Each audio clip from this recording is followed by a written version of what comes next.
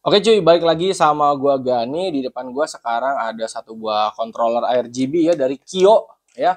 Ini pertama kalinya gue nyoba brand Kio di water coolingnya dan gue penasaran ya kayak dia modelannya kayak gimana, setting-settingnya apakah gampang atau susah. Dan ini sekalian gue bikin video unboxing aja.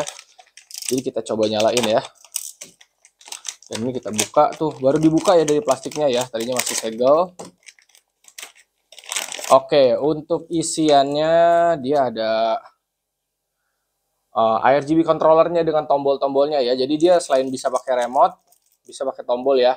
Ini kalau remote lu hilang, rusak, bisa diganti di sini warnanya. Ini gokil. Oke. Terus ini kita dikasih perekat juga ya. Untuk nempelin ke apa namanya? ke casing. Nah, bisa seperti itu ya. Ini velcro guys ya. Oh. Jadi kalau misalkan nanti mau lepas pasang tinggal pakai beginiannya aja. Udah enak banget. Oke. Okay. Dia kepisah ya antara ARGB-nya di samping sini 1 2 3 4 5 6 sama PWM-nya di sini juga tuh 2 3 4 5 6 ya. Lalu di sini ada dua colokan reset SW. Jadi dia ganti warnanya itu bisa pakai tombol reset yang di casing, bisa pakai tombol di sini, bisa pakai remote dan juga bisa sinkron ke motherboard. Ya, ada empat tipe untuk ganti warnanya ya. Ini harusnya udah cakep banget karena biasanya kontrol RGB itu cuma ngasih dua, remote sama sinkron motherboard atau tombol sama sinkron motherboard atau cuman kayak RGB sama reset SW gitu ya atau sinkron sama reset SW gitu ya. Ini dia ngasih empat. Bisa sinkron motherboard, bisa remote, bisa reset SW, bisa tombol ya. Ini gokil. Nah, kalau mau sinkron ke motherboard, ini kabelnya dicolokin, guys. Nih, ya. Masuk ke data sini. Ya. Ini emang harus dicolokin sih, guys. Terus nanti ini PWM-nya ke motherboard, ARGB-nya ke motherboard. Kalau mau sinkron, kalau ARGB-nya nggak dicolok ya bisa juga. Dan di sini ada colokan SATA-nya juga ya untuk powernya ya. Oke, di sini gue akan cobain teman-teman nyolokin ke PSU ya. Gue mau ngetes nyala dulu. Nanti kita colokin ke fan water cooling ini teman-teman ya. Gue sekalian ngetes juga itu lampunya nyala atau enggak. Oke, jadi ini PWM-nya kita colokin ke sini. RGB-nya gue nggak colokin ya, karena ini kan gue nggak nyolokin ke motherboard. Oke, ini colokin ke sini. Terus powernya dari SATA-nya jangan lupa kita colok. Nah, habis itu ya udah tinggal colok-colokin uh, fan-fannya teman-teman ya. Ini gue harus buka dulu ya si kabel-kabel ininya. Jadi water cooling ini gue bisa bilang udah cukup enak guys. Eh water cooling apa namanya ARGB controllernya. Harganya murah masih di 100 ribuan ya. Biasanya gue nemu ARGB controller itu harganya di 3 eh 300 di 130-an tapi ini masih murah ya Oke, colokin dulu fan yang ini. Dia ARGB 3 pin. Soalnya nanti gue ngerakit PC yang ini pakai ARGB controllernya yang ini guys. Jadi gue sekalian ngecek nyala aja.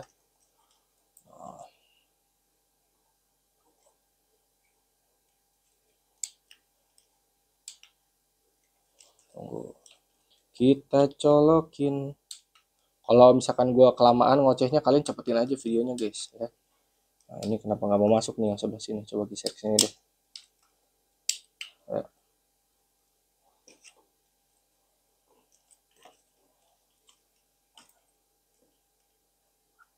Kita colokin kita colokin. Satu lagi.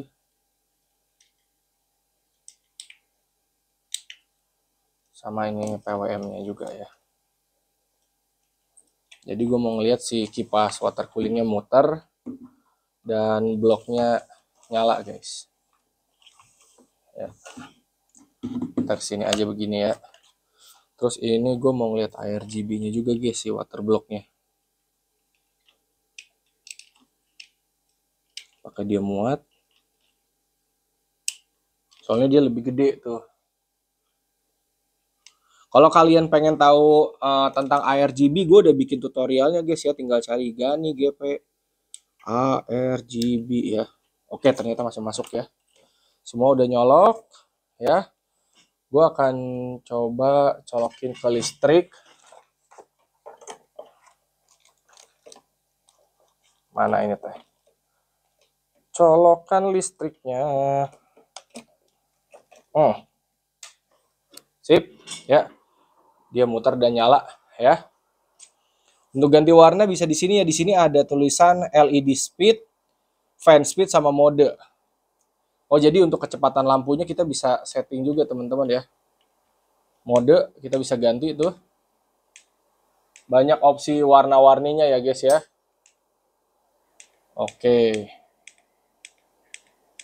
Nah, bisa putih juga ya karena jarang guys ada uh, eh, ARGB controller yang bisa putih. Biasanya dia putihnya kedip-kedip tapi ini bisa ya. Jadi yang di tombol di sininya udah bisa. Kalau pakai remote oke kita coba nyalain red green blue ya. Oke ini Q1 apa ini? Oh ini mode-modenya ya. Ini ada Q nih mode mode RGB gitunya ya. Terus ini ada begininya. Oh ini kalau mau ganti-ganti ya Nah, banyak opsinya ya. Dan kalau mau sinkron ke motherboard, ini kayaknya harus dipencet deh yang gambar gemboknya ya. Oh ini nih di atas nih MB Sync ya. Jadi kalau pakai MB Sync dia akan sinkron ke motherboard. Kalau misalnya mau pakai remote lagi, pencet lagi gitu. Pokoknya kalau kalian mau ganti pengaturannya antara sinkron ke remote dan motherboard, ini si MB Sync ini harus dipencet ya. Pokoknya kalau misalnya dipencet, ya berarti sinkronnya dari motherboard. Lu nggak bisa ganti warna dari remote. Harus pencet lagi baru bisa ganti warna dari remote ya.